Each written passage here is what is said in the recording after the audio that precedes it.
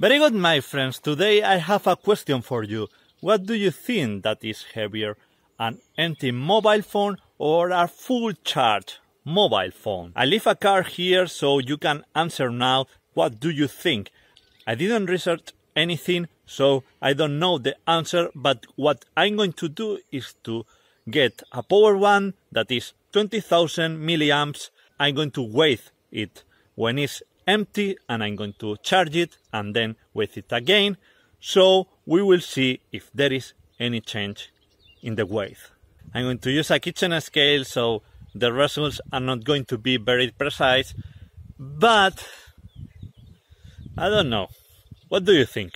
After the experiment, I'm going to search on internet and I'm going to try to explain what happened. Okay, the scale is in zero grams we place the battery there and it says 383 grams. Hmm. Let's charge it and let's see the result. Battery is full now. We start the scale. Okay. One gram. Two grams. What are the results of the experiment? The change in weight is not existing or is very tiny. The conclusion is that the weight of the battery doesn't increase in a large scale. That for sure because we don't have a big increase in weight. And there are an increase in weight maybe of one gram or two grams and this maybe is because the scale is not accurate enough. Let's do some research and let's see what we can conclude after doing some investigation.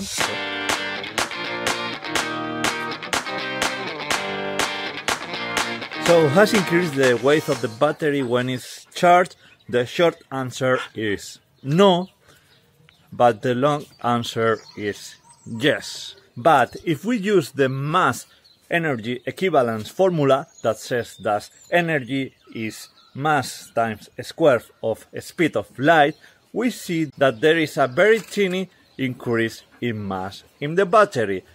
But this increase is that small that is not possible to measure with any scale in the world. Even a particle of dust that goes to the battery is heavier than this increase of mass coming from the energy that has in the battery now. Actually, what we are doing when we are charging the battery is moving electrons from one side of the electrodes lights to the other side. So there is no adding of mass. To see how little is the increase of mass in the battery, we have to imagine that is more or less the same that adding a cube of sugar to the Empire State Building. So I hope you have learned something. Don't forget to subscribe to the channel Thank you for watching and see you in next video.